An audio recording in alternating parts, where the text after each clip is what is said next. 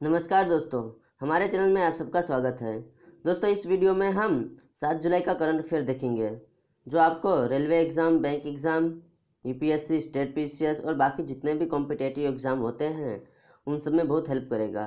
तो दोस्तों, बने रहिए हमारे साथ तो पूरा वीडियो ज़रूर देखें, जिससे कोई भी जानकारी आप सबसे छुटे नहीं। दोस्तों, सबसे पहले हमने जो आपसे कल सवाल किया था, उसका आंसर देख लेते हैं। तो कल का हमारा जो सवाल है उत्तर प्रदेश के अनुसूचित जाति, जनजाति आयोग ने दलितों को आरक्षण न देने के मामले में किस यूनिवर्सिटी को नोटिस भेजा है? तो इसका आंसर ये अलीगढ़ मुस्लिम यूनिवर्सिटी है। दोस्तों, हम आपको बता दें, अलीगढ़ मुस्लिम यूनिवर्सिटी की स्थापना 1921 में की गई थी और इसका जो पुराना नाम है वो मोहम्मद एंग्लो ओरिएंटल कॉलेज है और अभी के जो इसके वाइस चांसलर है वो तारिक मंसूर हैं। अलीगढ़ मुस्लिम यूनिवर्सिटी उत्तर प्रदेश के अलीगढ़ शहर में आया है। उसके बाद आज का हमारा पहला सवाल है, जापान के धार्मिक नेता का क्या नाम है, जिसे हाल ही में उन्नीस की टोक्यो अंडरग्राउंड नरु गैस हमले मामले में मौत की सज़ा सुनाई गई है? तो इसका आंसर ये सोको हारा है। हम आपको जापान के बारे में बता दें दोस्तों तो ये कई सारे टापुओं पे बना देश है और इसकी राजधानी टोक्यो है। इसके जो प्राइम मिनिस्टर हैं वो सिंजो आबे हैं। और इसके करीब जो जनसंख्या है वो बारह पॉइंट सड़सठ करोड़ लोगों की है। इसकी जीडीपी पाँच पॉइंट छः ट्रिलियन है और इसका करेंसी है वो एन है। उसके बाद हमारा दूसरा सवाल है, रिलायंस द्वारा बीते वर्ष में कितनी राशि बतौर जीएसटी दिए जाने की घोषणा की गई है? इसका आंसर सी, बयालीस हज़ार पाँच सौ तिरपन करोड़ रुपये बतौर टैक्स के रूप में दिया गया है। उसके बाद हमारा तीसरा सवाल है राष्ट्रीय डोपिंग एजेंसी, जिसे हम नेशनल एंटी डोपिंग एजेंसी भी कहते हैं, नाडा की। उसके अनुशासनात्मक पैनल के शॉर्टपुट एथलीट इंद्रजीत सिंह पर कितने सालों का बैन लगाया है? तो इसका आंसर ये चार साल है। हम आपको बता दें दोस्तों, नाडा के जो अभी सीईओ हैं, वो नवीन अग्रवाल हैं। उसके बाद हमारा चौथा सवाल है आरबीआई ने बैंकों को कितने चिन्हित जिलों में प्राथमिकता के आधार पर मिलने वाले कर्ज के अंतर्गत अल्पसंख्यकों को पर्याप्त कर्ज मुहैया कराने के निर्देश दिए गए हैं? तो इसका आंसर डी 121 उसके बाद हमारा पांचवा सवाल है, किस देश ने दो परमाणु ऊर्जा इकाइयों का निर्माण चीन में करेगा, जिसके काम शुरू करने की उम्मीद क्रमशः 2026 और 2027 तक का है? जिसका आंसर ये रूस है। उसके बाद हमारा छठा सवाल देखें तो किस हाईकोर्ट ने हाल ही में राज्य सरकार को रोडवेज़ और सार्वजनिक परिवहन के सभी ड्राइवरों की आपकी जाँच पंद्रह दिनों में कराने का आदेश दिया है तो इसका answer B, Uttarakhand high court है। उसके बाद सातवां सवाल देख ले तो किस देश में निजी तौर पर संचालित हिंदू धर्म के स्वामीनारायण स्कूलों को बंद करने से रोकने हेतु तो शुरू किए गए एक हस्ताक्षर अभियान में करीब पैंतीस सौ अधिक लोगों ने हस्ताक्षर किए हैं जिसका आंसर ये ब्रिटेन में है।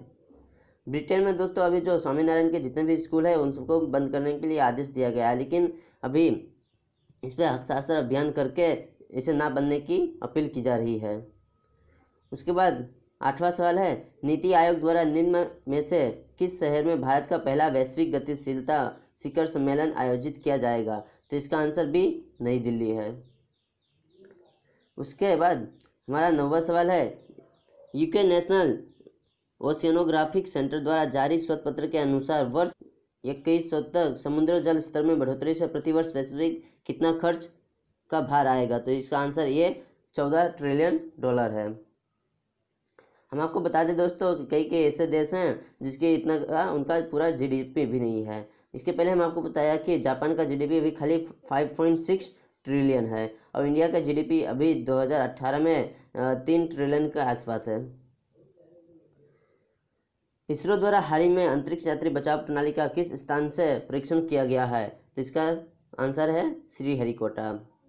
दोस्तों, हम आपको बता दें कि इसरो का ये स्पेस सेंटर है और इसरो, जिसे हम इंडियन स्पेस रिसर्च ऑर्गेनाइजेशन कहते हैं, इसकी स्थापना 15 अगस्त को उन्नीस सौ उनहत्तर में की गई थी और इसका जो हेडक्वार्टर है वो बेंगलोर में है और इसके जो अभी के चेयरमैन हैं वो डॉक्टर के सिवान हैं। उसके बाद हमारा ग्यारहवा सवाल है बैंक ऑफ़ चाइना से पहले चीन के कौन से बैंक को भारत में काम करने की अनुमति दी जा चुकी है? तो इसका आंसर ये industrial and commercial bank of China है। ये industrial and commercial bank of China की स्थापना उन्नीस सौ चौरासी में चाइना में हुई थी। और इंडिया में इसका जो फ़र्स्ट ब्रांच है, वो 2011 में खोला गया।